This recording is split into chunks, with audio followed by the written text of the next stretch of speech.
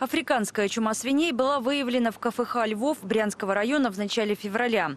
Выяснилось, что в хозяйство завезли на убой свиней из Щекининского района Тульской области. Сейчас в Лазаревском, чтобы справиться с проблемой, уничтожают 60 тысяч голов свиней. В минувшие выходные Брянская межобластная ветеринарная лаборатория подтвердила диагноз АЧС в исследуемых пробах от трех диких кабанов. Павшие животные были обнаружены в заказнике Клетнянский Мглинского района. Сейчас очаг в Брянском районе локализован, однако, как считают специалисты, вероятность распространения вируса остается достаточно высокой. С высокой долей вероятности в ближайшее время можно ожидать проявления вируса в личных подсобных хозяйствах и дикой фауне. Несмотря на это, мы полагаем, что время еще не упущено. У нас есть шанс удержать ситуацию под контролем и вернуть ее в управляемое русло. Но этот шанс может быть реализован при условии, что все заинтересованные службы станут воспринимать ситуацию как общую проблему. Чтобы дополнительно обезопасить себя, Брянщине придется запретить убойным пунктам и мясоперерабатывающим предприятиям ввозить живых свиней и мясо свинины из других регионов России. Это серьезная мера, но она в данном случае оправдана.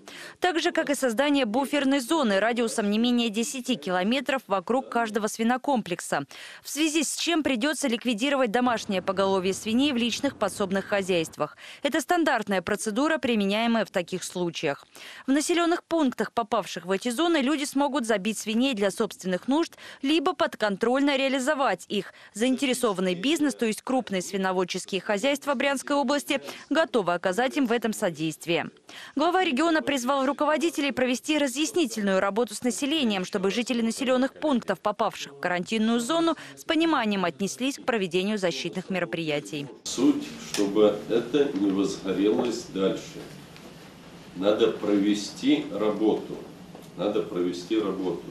В том числе с населением Брянской области, которые находятся в радиусе возможной э, зараженности, чтобы каждый житель э, понимал, для снижения риска распространения африканской чумы свиней в Брянской области придется не менее чем наполовину сократить и популяции диких кабанов. А в районах, граничащих со Смоленской областью и Республикой Беларусь, данный вид животных депопулировать.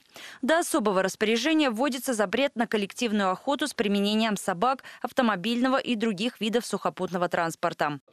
Елена Смирнова при содействии пресс-службы правительства Брянской области. События Брянск.